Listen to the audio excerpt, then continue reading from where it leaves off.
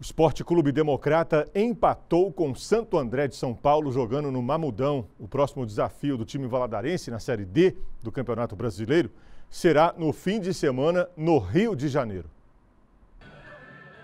Antes da bola rolar no campo do estádio José Mamud Abas, faixas davam o tom de conscientização para a torcida não invadir e nem jogar objetos no gramado.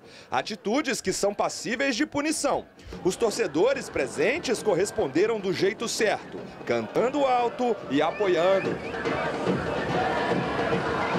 Alegria do povo e bola em jogo na primeira participação do Democrata no Brasileirão Série D em 2023. A Pantera foi para cima do Santo André de São Paulo e os jogadores ficaram pedindo pênalti neste lance. Os paulistas então responderam com este chute a gol de fora da área. Aos 11 minutos, João Paulo foi advertido com cartão amarelo depois de uma entrada dura no atacante democratense Vitinho. Em seguida, a tentativa de Xande pelo lado esquerdo. Porém, o assistente flagrou o impedimento dentro da área.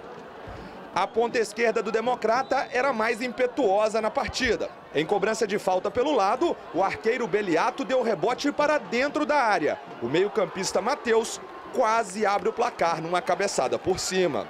O gol era questão de tempo, ou melhor, questão para o estreante João Vitor resolver. Aos 19 minutos, o atacante recebeu de Marcelinho pela direita e bateu no canto para balançar as cortinas brancas. 1 a 0 para o Democrata.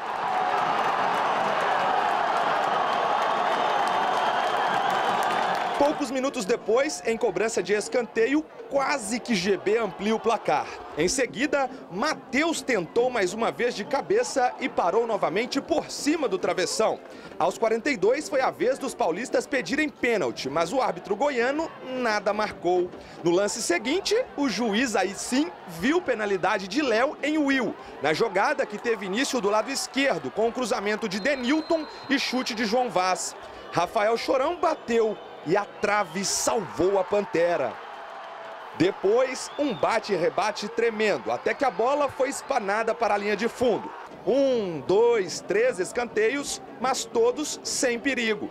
O fim da etapa inicial foi com essa pressão ensaiada pelo Santo André. Nas arquibancadas, mesmo com o sufoco dos minutos finais, os torcedores da Pantera permaneciam confiantes. Correr muito, lutar, fechar mais um pouquinho o meio de campo para poder sair no contra-ataque e ampliar o, o para cá. Nós vemos uma equipe hoje muito esforçada. Pelo fato de ser uma Série D, você vê jogadores muito competentes. A gente vê ali individualmente que o, o time está tá saindo muito bem e coletivamente também. Então é você manter a pegada, manter os posicionamentos do jeito que está sendo e vamos para cima. Veio a segunda etapa e junto trouxe mudança no Santo André, que precisava reagir. Logo no início, o braço do meio-campista do democrata Matheus acertou o adversário e ele foi amarelado. O segundo tempo começou morno e a Pantera gastava os minutos tocando a bola. Aos oito, falta para o democrata e amarelo para Guilherme. A cobrança foi sem perigo. Aos 14 minutos, um pacotão com três alterações no Democrata e o Santo André também voltou a mexer. O efeito surtiu aos 21 minutos, quando Gabriel Vieira, que havia acabado de entrar, roubou a bola e tocou para Mateuzinho, que bateu com perigo. Aos 26 minutos foi a hora da reação do Santo André. Em bola que pingou dentro da área numa jogada lateral, o camisa 7 foi mais esperto que a defesa e guardou depois do bate-rebate. Após o gol de empate, a cera mudou de lado. Neste lance duvidoso, o juiz preferiu não marcar o pênalti e a torcida. Nesta outra jogada, por muito pouco, Davi não marcou. Ele parou na defesa. Depois disso, a partida ficou lenta, com várias substituições, faltas e com poucas chances de gol. Um jogo consistente ali, né? Pude marcar, na minha posição sempre tá, tem que estar tá marcando. Não estamos felizes com o resultado, né? Mas é só o início e a torcida pode esperar é isso aí, muita entrega e bastante gols. É uma estreia, né? A gente está há 40 dias sem, sem jogo oficial. Mudou muito o nosso time mas eu creio que, que a gente, principalmente no primeiro tempo, tomou todas as ações do jogo.